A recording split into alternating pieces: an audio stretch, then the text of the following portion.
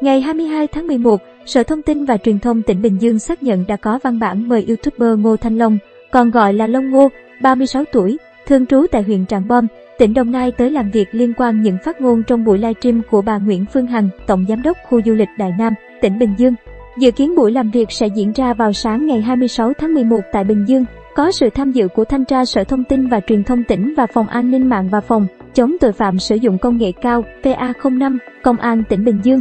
Sở Thông tin và Truyền thông tỉnh Bình Dương cho biết việc mời YouTuber Ngô Thanh Long làm việc là để làm rõ, xử lý theo yêu cầu của Cục Phát thanh, Truyền hình và Thông tin Điện tử thuộc Bộ Thông tin và Truyền thông. Trước đó, Cục Phát thanh, Truyền hình và Thông tin Điện tử Bộ Thông tin và Truyền thông cho biết qua theo dõi, nắm bắt tình hình trên mạng và tiếp nhận thông tin từ báo chí, Cục nhận thấy ngày 14 tháng 11 bà Phương Hằng tổ chức buổi gặp gỡ và giao lưu khán giả tại khu du lịch Đại Nam, được phát trực tuyến trên mạng qua nhiều kênh Facebook, YouTube. Trong các phát ngôn của khách mời tham dự buổi giao lưu livestream có nội dung cho rằng báo chí của Cộng sản chung với phản động để đánh bột Nguyễn Phương Hằng. Cục Phát thanh, Truyền hình và Thông tin Điện tử Bộ Thông tin và Truyền thông nhận thấy nội dung phát ngôn nêu trên có dấu hiệu vi phạm pháp luật, tung tin sai sự thật, xúc phạm danh dự, uy tín của nền báo chí cách mạng Việt Nam